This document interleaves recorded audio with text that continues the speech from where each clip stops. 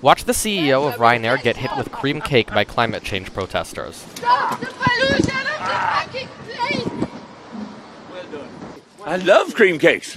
They're my favorite. Okay, so flights during strikes. This is delicious cake.